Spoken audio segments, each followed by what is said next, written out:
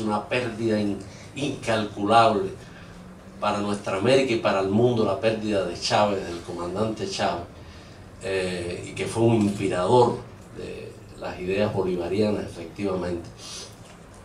Y creo que eh, tiene mucha razón el rector cuando habla de que el proceso de reforma en, la, en Córdoba, en la Universidad de Córdoba, adquirió un sentido latinoamericano.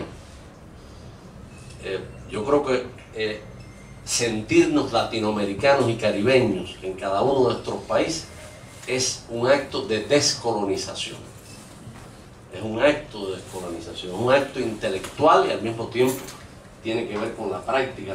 Los, los acuerdos comerciales son coyunturales, las alianzas políticas pueden ser coyunturales, lo que no es coyuntural es cuando realmente los pueblos se reconocen como parte de una misma familia espiritual, de una misma familia cultural, lo decía el rector en su introducción.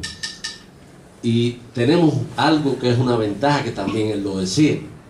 Eh, no es retórica cuando decimos que nuestros pueblos están emparentados desde el punto de vista de la cultura, desde el punto de vista de la riqueza, la diversidad de nuestras culturas, tienen todas un aire de familia.